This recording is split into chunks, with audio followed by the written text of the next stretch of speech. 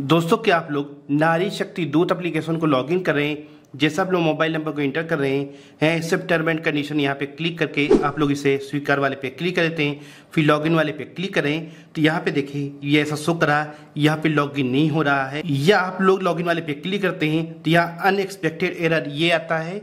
या यहाँ पे सर्विस अनअवेलेबल यहाँ पे ये प्रॉब्लम आ रही है। आप लोग लॉग इन नहीं कर पा रहे हैं। आप लोगों ने काफ़ी सारे वीडियो भी देख लिए हैं, लेकिन आपको ये प्रॉब्लम देखने को मिल रही है। आप लोग एप्लीकेशन में लॉग इन नहीं कर पा रहे हैं। तो इसके लिए सबसे पहले आपको ये करना है, जो वीडियो देख रहे हैं वीडियो को लाइक करना होगा।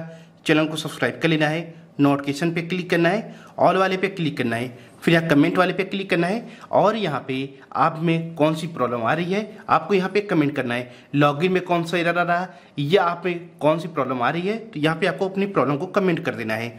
फिर इतना करने के बाद जैसे मैं दोबारा यहाँ नारी शक्ति दूत एप्लीकेशन को ओपन कर लेता हूँ। यहाँ पे क्लिक करा हूँ। यहाँ पे देख सकते हैं मोबाइल नंबर को इंटर किया हूँ। यहाँ लॉगिन वाले पे क्लिक करा हूँ। तो दोस्तों, यहाँ पे लॉगिन नहीं हो रहा। आप लोग इस प्रॉब्लम को सॉल्व करना चाहते हैं तो इसके लिए सबसे पहले हमें यहाँ से बैक करना है। आप लोग वीडियो को ध्यान से देखिएगा, पूरा देखिएगा तो समझ पाएँगे कि आप लोग इसे कैसे सॉल्व कर सकते हैं। तो आपको यहाँ पे देखिए, ऐसा स्वैप करना है।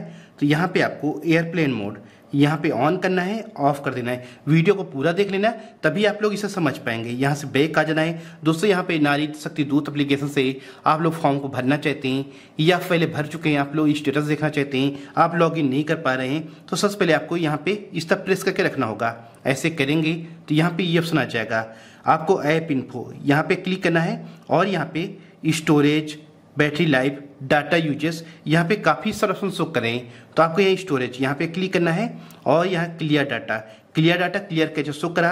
आपको दोनों को क्लियर कर देना है। इतना करने के बाद यहाँ से बैग आ जाना है और बैग करना है। फिर आपको यहाँ नारी शक्ति दूत यहाँ पे जाना है, इस एप्लीकेशन को ओपन करना है। आप लोग इसे चेक कर सकते हैं कि अपडेट तो नहीं आ गए हैं, यहाँ पे क्लिक करना है। यहाँ नारी शक्ति आपको लिखना है।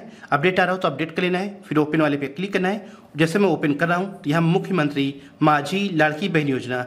यहाँ पे ऑप्शन आ गए यहाँ पे टिक करना है। डन वाले पे क्लिक करना है। फिर यहाँ पे मोबाइल नंबर को इंटर करना है।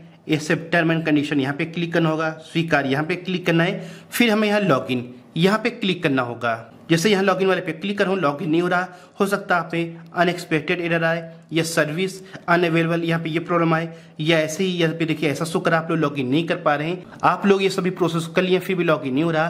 तो दोस्तों, ये एप्लीकेशन में ही प्रॉब्लम आ रही है। यहाँ पे सर्वर इशू है सर्वर डाउन चल रहा है तो इसलिए प्रॉब्लम आ रही है, क्योंकि यहाँ पे डेली काफ़ी सारे लोग लॉगिन करते हैं, यहाँ पे फॉर्म को भरते हैं विज़िट करते हैं तो यहाँ पे कुछ न कुछ प्रॉब्लम आ जाती है। तो दोस्तों, यहाँ पे ये सर्वर इशू है, इसलिए प्रॉब्लम आ रही है। कुछ टाइम बाद ये ऑटोमेटिक सॉल्व हो जाएगी। आपको यहाँ पे कुछ नहीं करना है इतना कर लिए। नहीं सॉल्व हो रहा तो आपको कुछ नहीं करना है।